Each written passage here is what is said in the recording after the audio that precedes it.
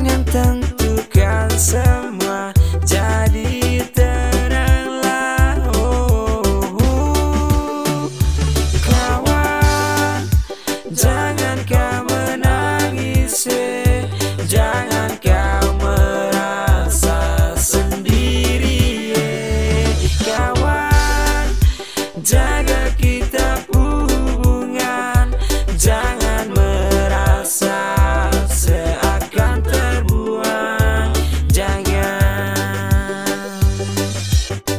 Sekali kita berpikir tidak matang. Itu karena kita rencana dengan tegang. Jadinya kita tidak mendapatkan peluang Untuk melakukan sesuatu yang sembarang. Kalau sedih luar jangan lupa untuk kembali datang. Untuk menatap bangunan tua yang tersayang. Karena semua bangunan penuh dengan kenangan. Suka duka tertawa kita rasakan bersama. Maka di sini saya minta kawan untuk kawan.